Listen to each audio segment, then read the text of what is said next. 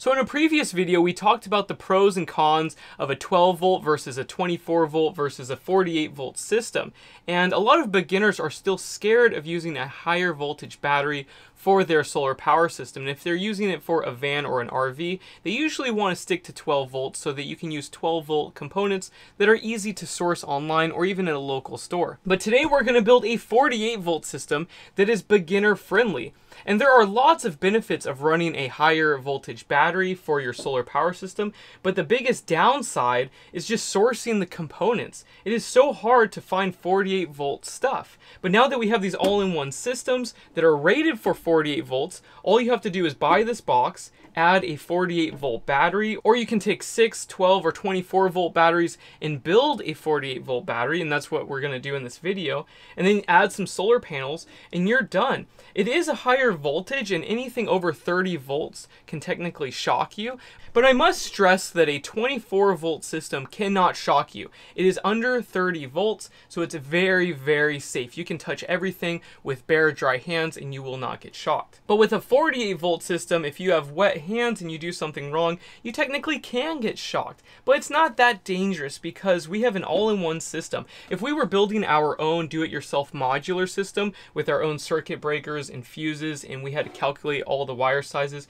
for putting the components together on a board, board, you need to be very careful and make sure that you don't get shocked and everything's covered. But because we have this all-in-one system, all you have to do is connect two power wires right here and then connect those bare wires out to your 48 volt battery.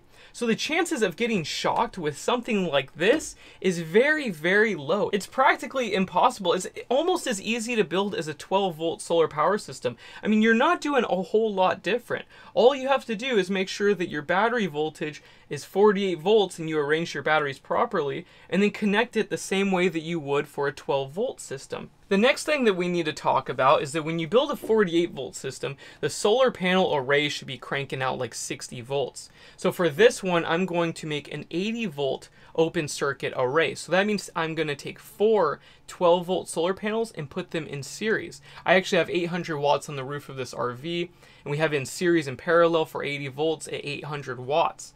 So we're going to connect that to this system after I connect some batteries. But if you were to connect 12 volt panels to a 48 volt battery system solar power charge controller, it will not charge. You need that voltage much higher than the battery voltage. So if you have a really small array, it will not work with 48 volts unless you have higher voltage panels and more cells are in series. So if you are building a 48 volt system with 12 volt panels, you need at least four solar panels in series. But it's very easy to do. A lot of people already have at least 400 watts in their array.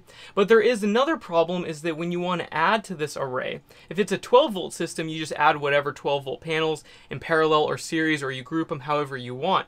In this instance, I need to use 400 or 800 or 1200 watts of solar. I can't use anything in between because I need to keep that voltage high. But yeah, it's so simple and I think if you guys see it in action in me installing it, you will want to build one as well. And also you will save a lot of money if you do a 48 volt system. A lot of people think that you need a bunch of 6 or 12 volt batteries, but you can buy 24 volt AGMs or lithium iron phosphate batteries, and then you just put two of them in series. So you could spend a lot less money. Also, the wire savings is huge. Running at this high of a voltage compared to 12 volts will mean that you will save like $100 in wiring costs. The biggest downside I would see people complaining about is if you need to run 12 volt appliances. And you can buy a DC to DC converter online that takes the 48 volts and steps it down to 12 volts. We use those for golf carts a lot for running 12 volt appliances of a 48 volt battery.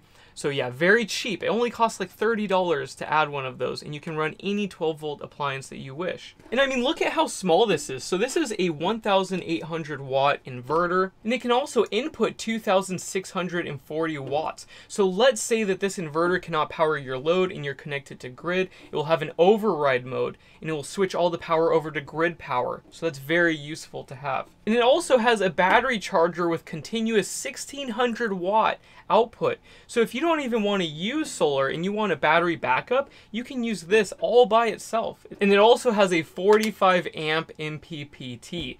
So you can push a lot of current. I mean, 48 volt, that array is awesome size. So, so this little thing is like a complete supersized system. If you were to build this as a 12 volt, it would be big, it would be really expensive, but because we're only using 48 volts and using 110 for our output, it's very easy to work with and it doesn't need to be as big. But man, this thing has a huge heat sink on the top.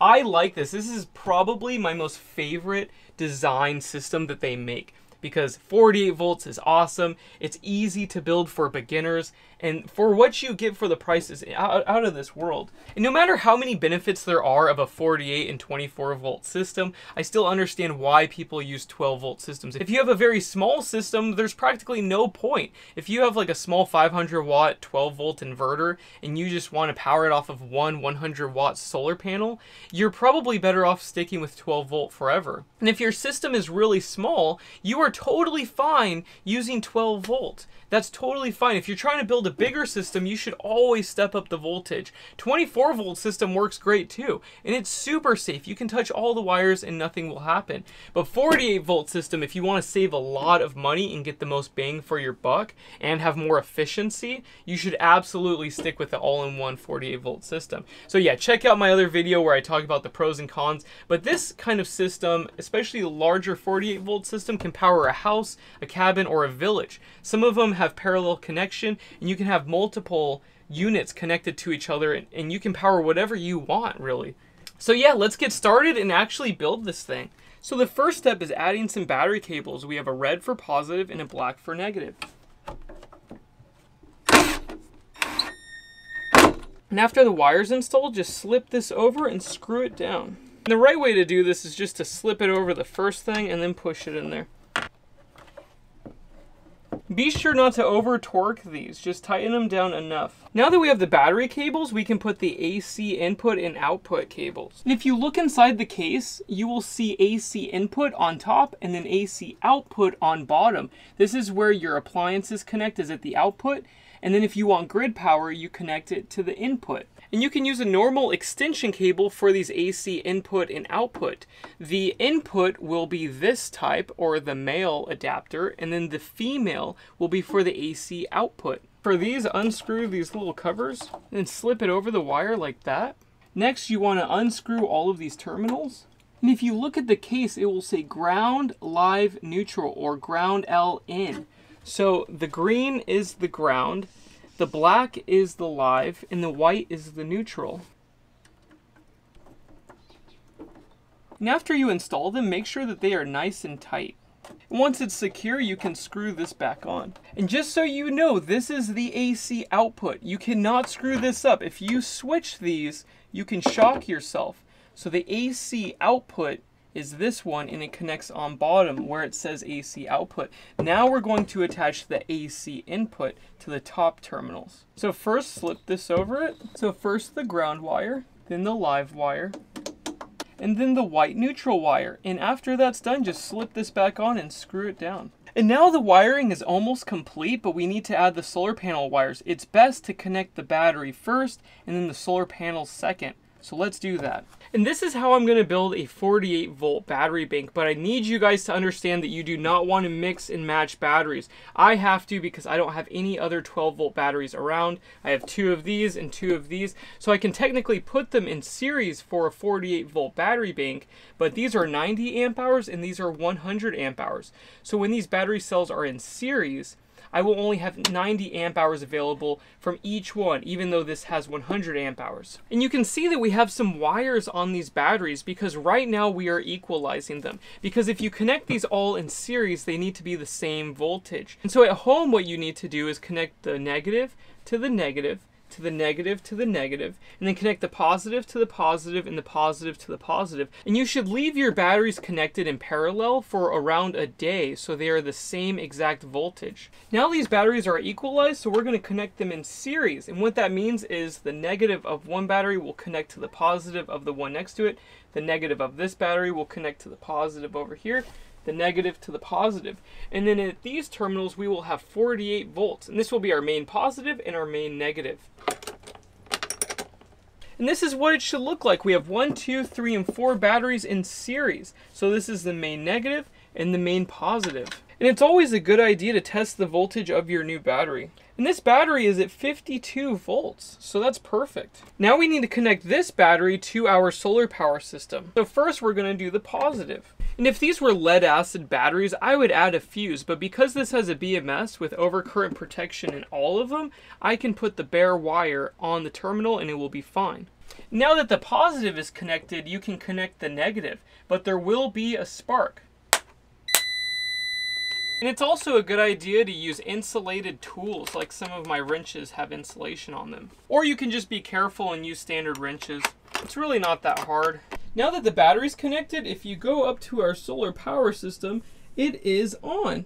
And this is the main interface. If you hold down enter, and then you can change the settings and you want to disable this horrible beeping noise. Also, check out my website. I tell you guys what settings are ideal for most solar power systems. I could talk for a whole hour about every setting in here. So please check out my website to learn more about changing these settings. And under 18, you can turn the beeping off. So check this out. And now it's silent. Isn't that nice? That's like the first setting I change on these. And right now it's programmed to AGM, so we can hook up some solar panels and start charging these batteries no problem. And right now it shows output and input for AC. The output's at 119 volts, so that means that the output cable that we connected earlier can actually power an appliance if you plug it in. And if you want to turn the inverter off, there's an on and off button, and you just turn it off. Because when the inverter is on, it uses power. There is a standby consumption.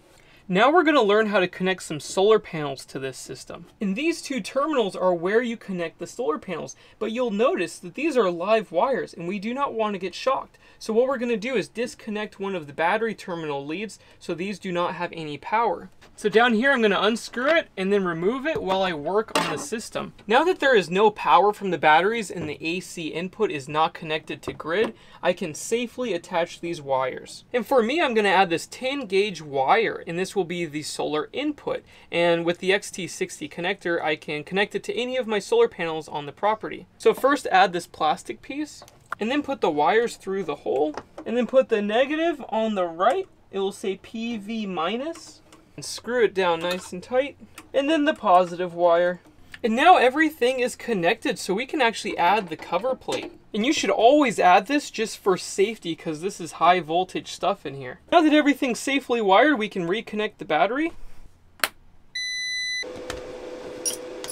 And now we have power again. So now I need to add four 12 volt solar panels in series to this negative and positive connection. And luckily I have a whole array to connect to it. Now it's the moment of truth. I connected my solar panel array and it's at 77 volts. So let's see if it starts charging. I love this. No way, look at that you guys, it's charging. Oh, that's so cool. Okay, so we have the solar panel, it's charging the battery, and it's powering our AC loads. I mean, how easy is that? This is a complete system. We've got 551 watts going into these batteries right now with solar. Now let's test out the inverter. I think the fans are quieter on this one compared to the 24 volt model. Those are way quieter. That's really good. Okay, now we have the fans going when you put a really big load on it. Now I have another extension cord and we're gonna connect this system to grid. And so now I can charge the batteries with grid power and solar power. And if the inverter cannot handle a load, it will switch it over to grid as well. And look at the amount of wires for this type of system. If we were building a modular one, we'd have wires everywhere. But we just have two for the battery, two for the solar panels, input and output, and that's it. But now let's talk about the different models because this is the smallest 48 volt model out there. But they also have larger models and that's for like houses or big cabins. Or if you want to power something really big, get a 5 kilowatt models. And those are a lot bigger and a lot more powerful, but we're going to talk about that and build them in another video. But it's the same concept, whether it's a 12 volt small system or if you're using a 5 kilowatt 48 volt one, it's just two wires going to the battery battery and then two wires for the input and output, and that's it. And what's interesting to think about is that when you buy one of these units, you can use whatever batteries you want. You can use cheap Walmart lead acids, and I highly recommend not doing that, but you can. And these are very, very cheap compared to buying like an inverter, MPPT, and programming them all so they work together with a cutoff voltage with like automatic transfer switch. It is so difficult. Like I have so many other videos teaching people how to do that. And you could just buy one of these and slap it on the wall and then add whatever battery you want. God, I sound like a salesman right now. I really don't try to. It's tough with solar though because it's so product centric and I am so dependent on these things working and showing you guys how to do it that I do sound like a salesman because I'm talking about the price and all the features all the time. And I was actually researching last night how to build your own MPPT charge controller. But like, there's no point to building it yourself anymore. The price for just the components and getting everything shipped to you from different distributors, there is no point. Like just buying one of these and getting batteries with a warranty you'll be set for like 10 or 20 years or more. And what's crazy to think about is that this channel has been dedicated to like small off-grid systems with lithium ion batteries.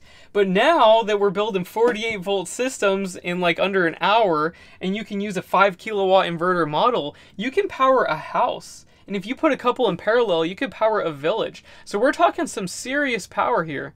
Another thing I want to mention is do not check my YouTube description for product links because they can change over time. There's new models. Sometimes a warehouse is completely out of stock for three months.